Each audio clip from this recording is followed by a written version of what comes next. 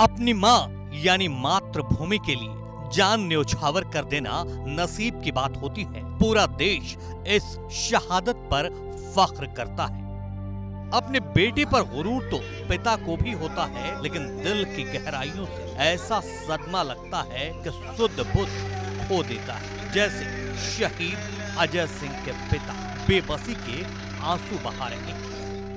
बेटे के शव को कांधा देने के लिए कलेजा पत्थर का बनाना पड़ता है, क्योंकि जिसे अपने हाथों के झूले में झूला झूलाकर बलवान बनाया, वो बेसुध और बेगाना बनकर शव की शक्ल में चिता पर लेटा मिलेगा।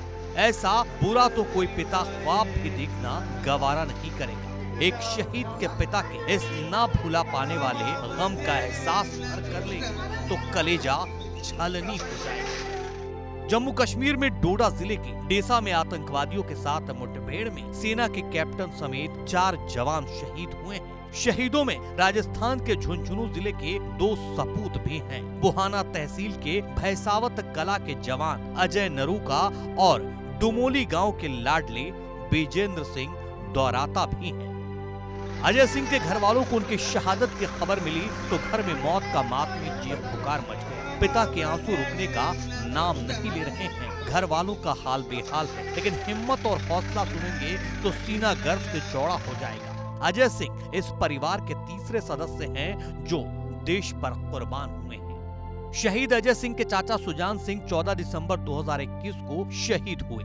मामा तेजपाल सिंह ने भी अपनी जान मातृभूमि को न्यौछावर कर दी। शहीद अजय सिंह नरुका के पिता कमल सिंह नरुका भी सेना से रिटायर हुए हैं। चाचा कायम सिंह सेना मेडल से 2022 में सम्मानित हुए।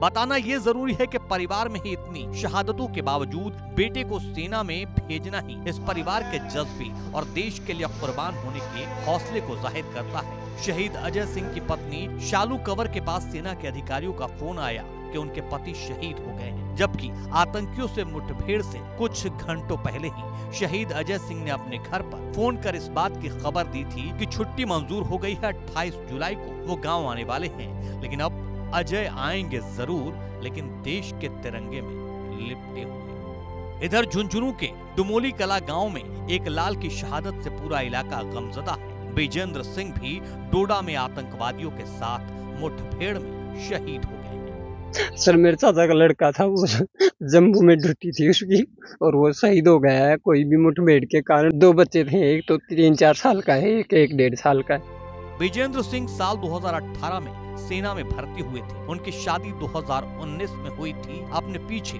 दो मासूम बच्चे छोड़ गए हैं। गाँव के लाल की शहादत पर पूरा गाँव और कस्बा गमजदा है जी हम उसके लिए देखो गर्व हमारे लिए गर्व की बात है पूरे हिंदुस्तान के लिए गर्व की गर्व की बात है ये और हमारे बीच में रहा है हमारा भाई था गाँव का लाडला था और उसके लिए हम अंतिम संस्कार की तैयारियाँ कर रहे हैं उसके जगह चिन्हित कर रहे हैं। ज़िले को इस चीज़ का सबसे बड़ा गर्व है कि वो उन्होंने गाँव समाज के लिए आज प्राणों की आहुति दी हम इस चीज़ को बहुत बड़ा गर्व मानते हैं।